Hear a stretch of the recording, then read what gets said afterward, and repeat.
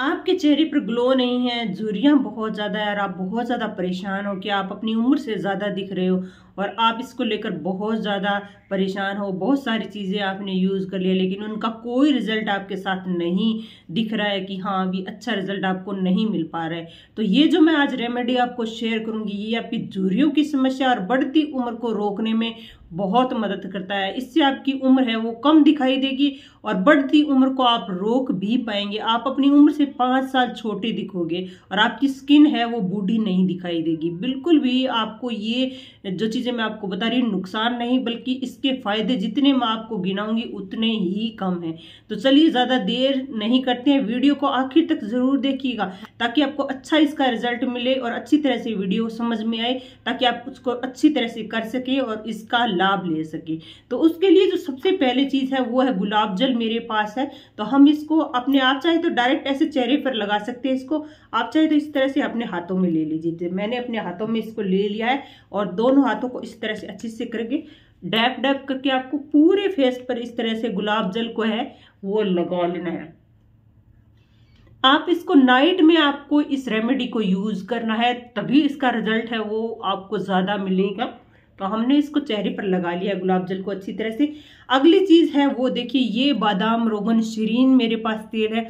आपको जो बालों में लगाने वाले बादाम तेल होते हैं, वो नहीं इस्तेमाल करने हैं। स्पेशली फेस के लिए ये बादाम रोगन तेल आता है। आपको वही यूज़ करना है।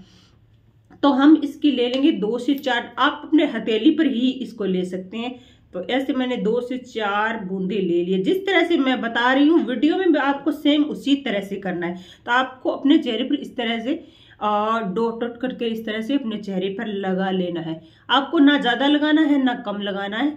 आपको ठीक ठीक ले लेना है, जिससे आपकी जो मसाज है, वो अच्छी तरीके से हो सके। तो और आप लाइव रिज़ल्ट इसका देखोगे तो चलिए दोनों हाथों को आप अच्छी तरह से, इस तरह से थोड़ा सा वोम कर लीजिए और उसके बाद लगिए इस तरह से मसाज करनी। आपको मसाज दो से पाँच मिनट तक करनी है, ताकि ये जो ऑयल है, वो अच्छी तरह से आपकी स्किन में ऑब्ज़र्व हो जाए, यानी अच्छी तरह से आपकी स्किन के अंदर चला जाए।